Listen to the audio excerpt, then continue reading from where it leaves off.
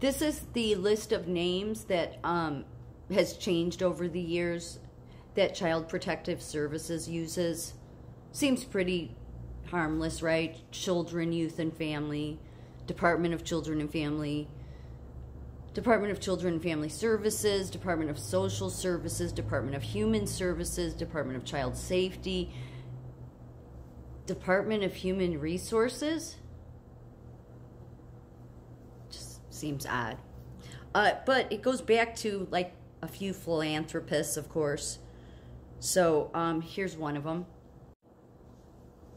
Yes, Edward T. Devine, economist, child welfare advocate, educator, author, and pioneer social worker. Um, so he was a professor at Columbia University and the American University who advocated for social welfare.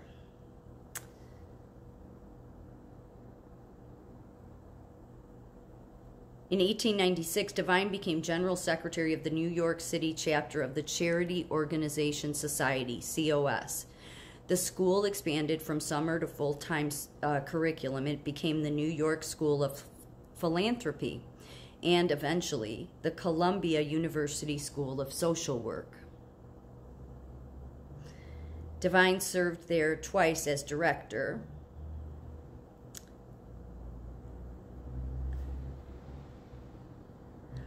In 1904, outside of the uh, charity organization services, Devine helped found a National Child Labor Committee as well as the National Association for the Study and Prevention of Tuberculosis.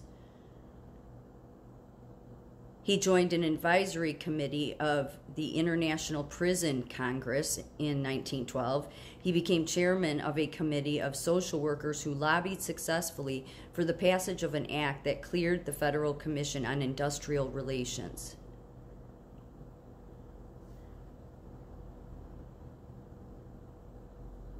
Furthermore,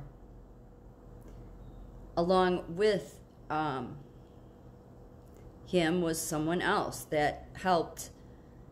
There was three of them. So Devine uh, believed to be the first to use the term caseworker in a paper presented after becoming the secretary of the Charity Organization Society in New York. He said good case work involves much thankless labor. So he came up with many of these terms that we see with the, the whole children's services. One of Devine's greatest contributions to social work evolved from his experience with charity organization services. As the movement grew, an insufficient number of volunteers made it necessary for COS agency to employ agents, trained staff members who were the predecessors of professional social workers. The usual pattern was that COS volunteers employed the technique of friendly visiting in homes of the poor to establish helping relationships and investigate the circumstances of families in need.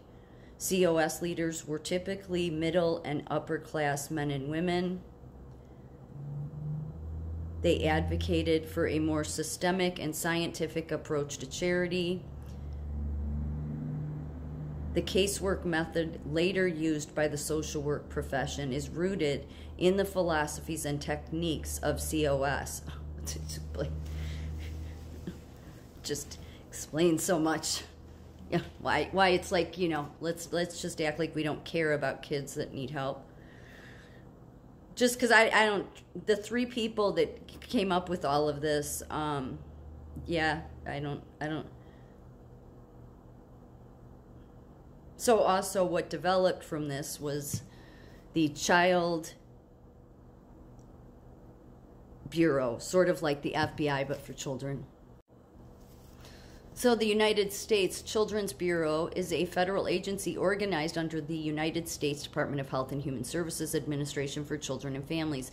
Today, the Bureau's operations involve improving child abuse, prevention, foster care, and adoption. Historically, its work was much broader, as shown by the 1912 Act, which created and funded it. Yes, so with Devine, who I had just mentioned, him and this Lillian Wald, I'll show her in a minute, uh, went to uh, the president, who was it? Uh, Roosevelt. Is it Roosevelt? I just had it. Yeah, Roosevelt.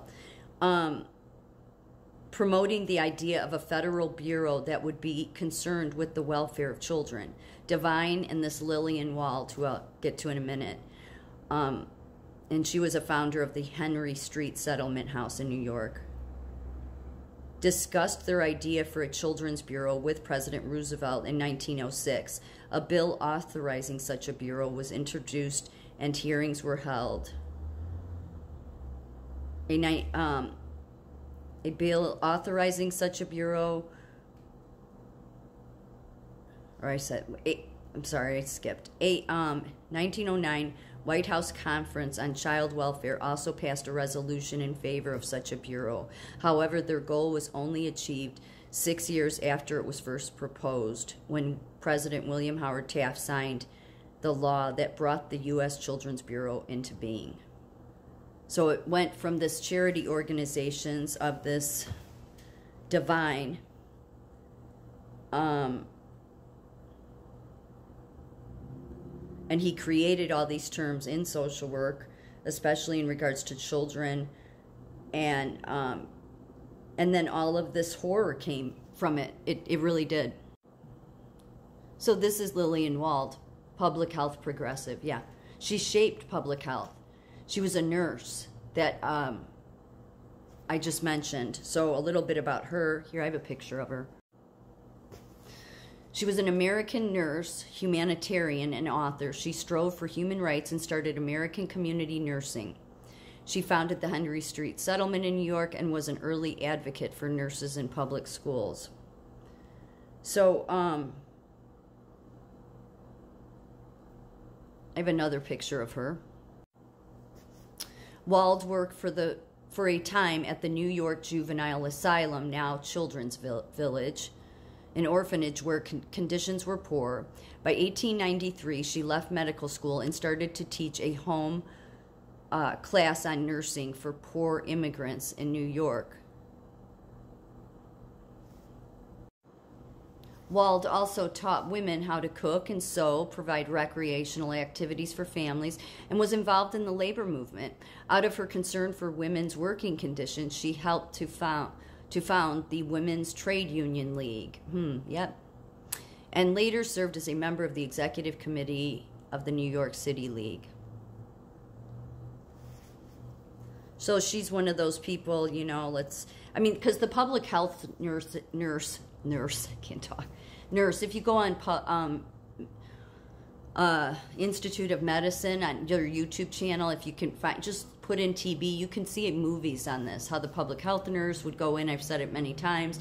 Oh, you're a new immigrant family. We have to take you to the doctor. Oh, get a chest X-ray. Oh, you have a shadow on your lung. We need to take you. Uh, you feel fine, but you need to pack your bags and come to the TB camp where we're going to train you into all these skills uh, before we let you go back home but you feel fine. Mm-hmm. Like really, that's they're all the traffickers, aren't they? Really, I think that's what I'm starting to really think. I, given what they all support. And this was the third woman involved. They all three of them, Devine, Wald, that nurse I just did, and her, were all involved in creating all of this with children's rights and regarding labor and uh, sweatshops. Yep, and all just real far radicals. Um, she was a social and political reformer. That was it's Florence Kelley.